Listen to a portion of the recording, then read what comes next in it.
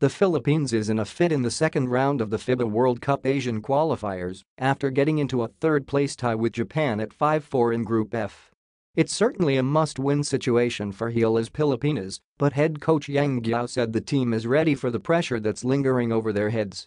Of course, our next game is a must-win one, and of course there's pressure, but that's what we signed up for, said Guiao Saturday at Mall of Asia Arena before the team's practice in preparation for its game against Iran on Monday.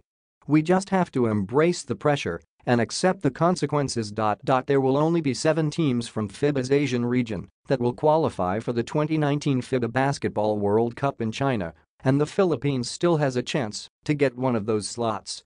The tricky part, however, is that only the top three teams from Groups E and F and the better of the two fourth placers will advance, and Gilas is tethering between the third and fourth spot in Group F. Gilas has to at least lock up the third seed in order to avoid any complications as they go further in the tournament and a win against Iran could bump the Philippines in a second-place tie with the Iranians at 6-4, while also getting a half game of separation from Japan.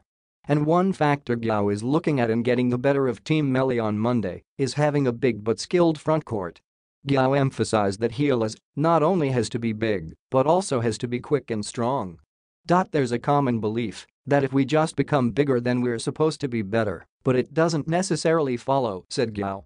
There are a lot of big guys in the international game, but if you're just going to be big, for the sake of being big that's not going to be enough. Iran has four players who stand at least 6 foot 9 in center Mohamed Tarabi who stands at that height, Maisa Mirza Talar Pashti and Kivan Rii who are both at 6'10, and all those are listed as centers.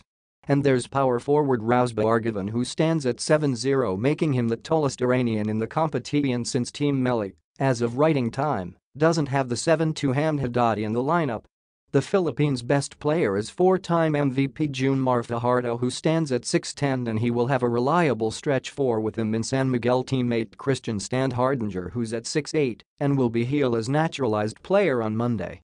You have to be big, quick, and strong, and I think that's what we need to factor in this game against Iran, said Guiao. You can't just be big and expect to be stronger.